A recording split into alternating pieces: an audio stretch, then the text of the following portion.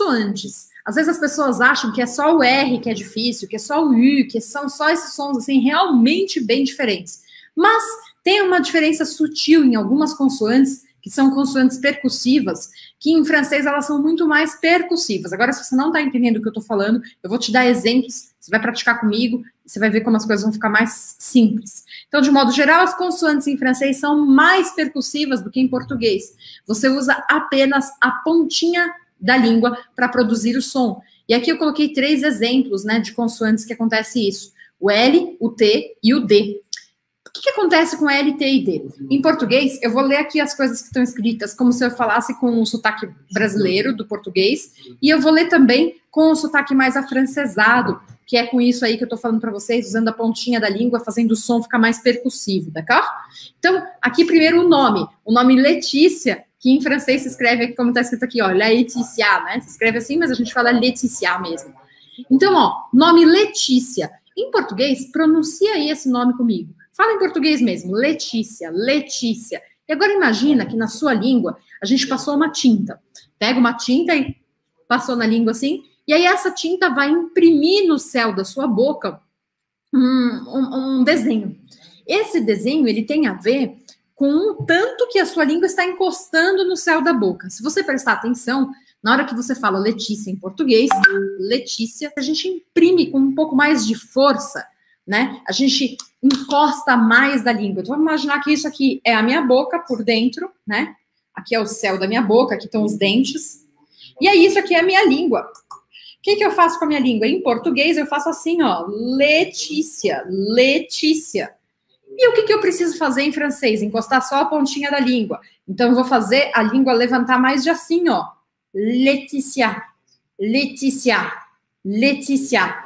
A mesma coisa acontece sempre que aparecer um L em francês. Você vai falar Letícia, aqui são duas vezes o mesmo nome, né? Letícia, lampe, lampe, lampe. Então, eu dou essa curvadinha. Lampe, lumière, long. Então, a gente sempre encosta só a pontinha da língua e é de forma bem rápida.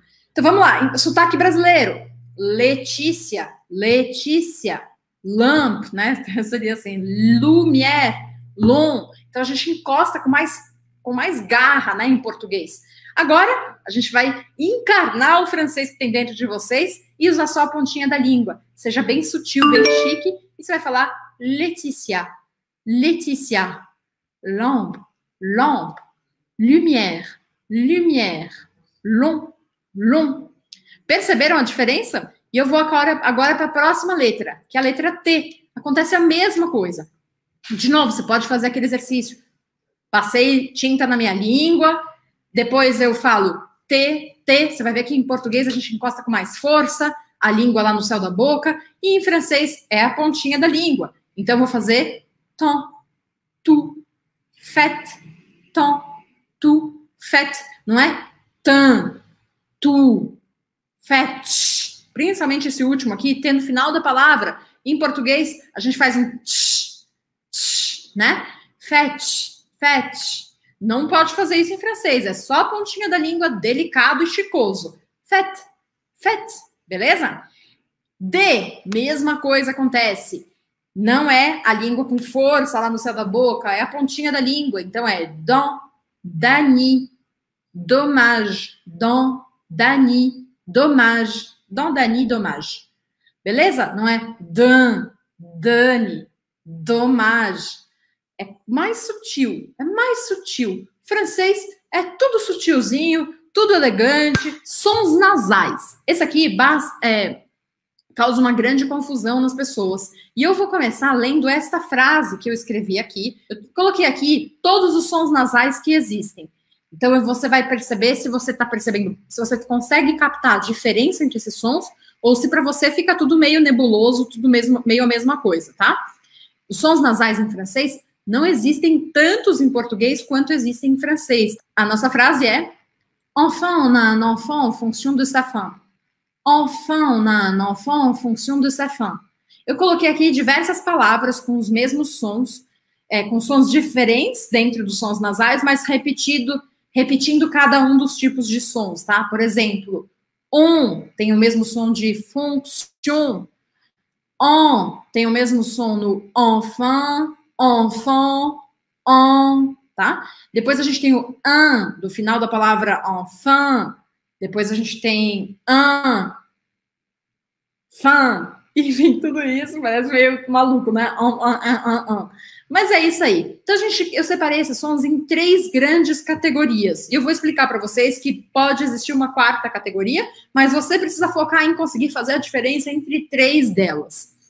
Primeiro, que é o mais importante para mim, que você consiga pegar, captar, para você conseguir fazer bastante diferenças. A gente vai usar ele base, que é o som batata quente, que pode ser escrito E EM, AN, AM. Então, sempre pode ser escrito com E ou A e com N ou M. Por que, que eu chamo ele de batata quente? Agora, o copo d'água vai ser útil. Tá com um copo d'água em mãos? Pega aí o seu copo d'água e vamos treinar francês. Você precisa fazer o exercício da batata quente e o exercício do copo d'água. Vamos começar pela batata quente. Imagina que você está num coquetel super chique, porque você está falando francês, você foi convidado pelo cônsul da França ou pelo é, embaixador francês, com todas as pessoas, artistas franceses, até quem já morreu tá lá, a Edith Piaf tá lá, tá todo mundo lá. E aí você precisa conseguir ser bem chique e elegante, porque você tá num ambiente que você quer ser chique e elegante. Pega o seu copinho d'água, e aí o que, que você faz? Você pega, passa uma bandeja com aquelas batatinhas, aquela batatinha pequenininha, assim, inglesa Aí você, hum, batatinha, né? Pega o palitinho de dente, coloca na boca. Só que na hora que você colocou na boca, aquele negócio tá pelando. Caramba! E bem nessa hora, vira uma pessoa incrível para você, um francês, uma francesa, aquele que você precisa impressionar. Não poder, você não vai poder cuspir a batata fora e não dá para engolir essa batata que você vai se queimar inteiro. O que que você faz? Você vai fingir que você vai bocejar, né? Você finge que você vai bocejar porque você vai abrir um espaço dentro da sua boca.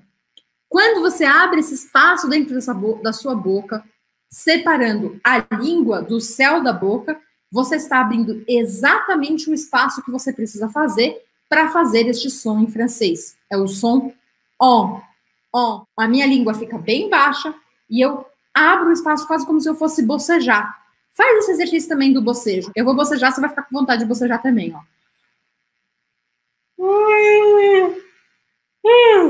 Quando a gente boceja, a gente também abre esse espaço. Você não precisa abrir a boca assim, tá? É aquele começo do bocejo, que a sua língua baixa e seu céu da boca sobe. Agora, bora pegar aqui o copo. O que, que você vai fazer? Você vai pegar o copo d'água, você vai colocar um gole pequeno de água na boca e você não vai engolir. E aí você vai imaginar que aquele líquido está muito quente.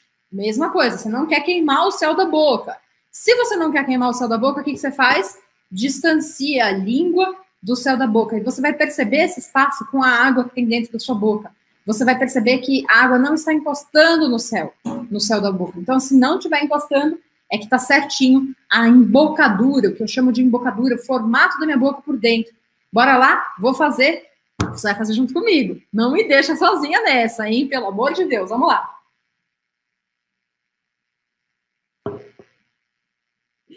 Então, você vai ter que relaxar aqui, né, um pouco o, a mandíbula. E fazendo esse relaxamento, você consegue abrir esse espaço que você precisa dentro da boca. O segundo som nasal é o som UN e IE. Então, UN, IN e suas variações, poderia ser AIN, poderia ser IEN, poderia ser YM, poderia ser com M, enfim, o M, enfim, todas essas coisas, a gente tem que abrir um sorriso amarelo, é o que eu chamo de sorriso amarelo. Então, esse é o som sorriso amarelo.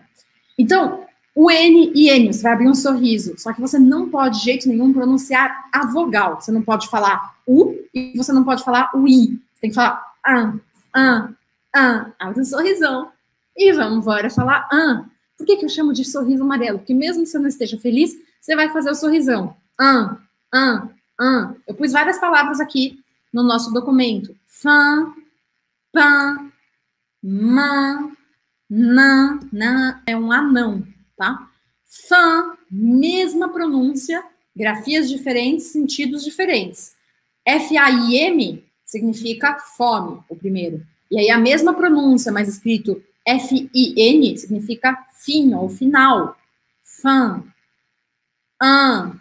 Eu faço diferente, gente. Mas é isso. Você pode pensar que é a mesma coisa. An. Chien. Cachorro. Chien. Aqui eu tenho que falar esse I, mas depois, por causa do I, vai virar esse sorrisão amarelo. Chien. Tan. Tan. O último som nasal que a gente vai ver é ON ou OM, tá? ON ou OM, o O é o que vai mandar no som aqui, só que eu não vou pronunciá-lo diferente. E esse aqui é o mais parecido com o português, é o que eu chamo de som do mantra. É o um, eu faço boca de O, então eu faço a boca igual o O, O, O, e eu faço só o som anasalado, on. Então aqui eu tenho alguns exemplos para dar para vocês, as palavras fond, long, non, jambon, cochon. Cuidado que essa daqui, ó, jambon é batata quente e depois o mantra. Um exercício importantíssimo para você fazer é você conseguir pintar as palavras que têm sons diferentes, os sons diferentes de cores específicas. Então vamos pegar aqui, ó, cuidado. Quais são os erros comuns com esses sons estranhos aqui do francês? A diferença entre enfant, enfant. Aqui, você tem que abrir o som do sorriso amarelo aqui. Se você não abrir o sorriso amarelo, vai sair idêntico à palavra criança. Aqui eu, eu estou falando enfim e aqui criança. Não é enfant, né? Às vezes o pessoal pega essa palavra e usa no português e fala enfant. Só que isso parece que você está falando criança. Não parece que você está falando enfim. Tá? Então toma cuidado aí com isso aí. Este som é diferente deste primeiro som. Batata quente, eu vou pôr um, uma cor laranja, assim, tá? Deixa eu trocar essa daqui, vou pôr um verde, para ficar mais diferentinho. Aqui eu coloquei outra coisa para você tomar cuidado. Long, long, que é exatamente isso que eu estava falando. Batata quente aqui e long mantra. Se inscreva no meu canal e não esquece de ativar o sininho para receber absolutamente tudo do Avec Elisa e mergulhar de vez na língua e na cultura francesa. C'est parti? Allez, venez!